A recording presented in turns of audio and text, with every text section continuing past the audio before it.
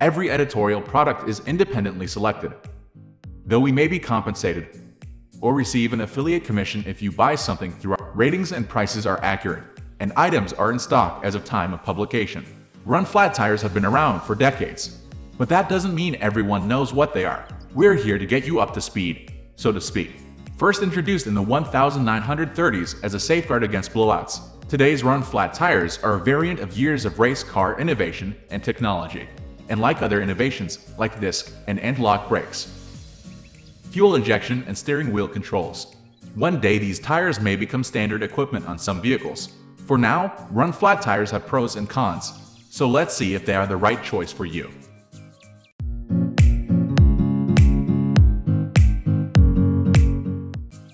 What are run flat tires? Simply put, run flat tires allow you to drive safely to a repair shop or level area when a tire is punctured and loses air. These tires are designed and constructed to support the weight of your vehicle with little or no air pressure. In regular car tires, the air pressure supports the weight of a vehicle. It is not supported by the tire itself.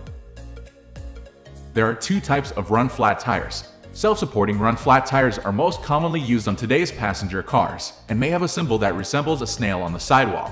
According to Jim DeLeo, Northeast Division Manager for Hunter Engineering, Sidewalls on run-flat tires can be 4 to 6 times as thick as a conventional tire sidewall. The denser sidewall keeps a deflated tire from collapsing. Supporting ring system run-flat tires employ a stiff rubber or other rigid material ring attached to the tire or wheel bead.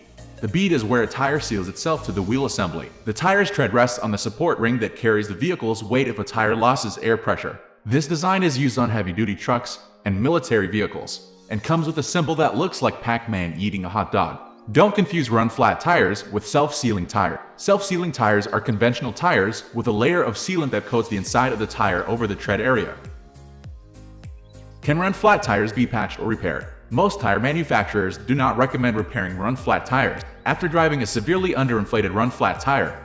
Even with the tire removed from the wheel, detecting and confirming internal tire structural integrity can be extremely difficult. In fact, Many run flat tires have do not repair printed on the sidewall. What kind of vehicles can use run flat tires? In theory, because run flat tires have the same physical dimensions as conventional tires, any vehicle can use them. However, unless your wheels are designed for run flats, they can overheat and separate from the wheel bead the same as a conventional tire when driving with low or no air pressure. In addition, because you may not recognize if one of your tires is flat, your vehicle needs a working tire pressure monitoring system, TPMS.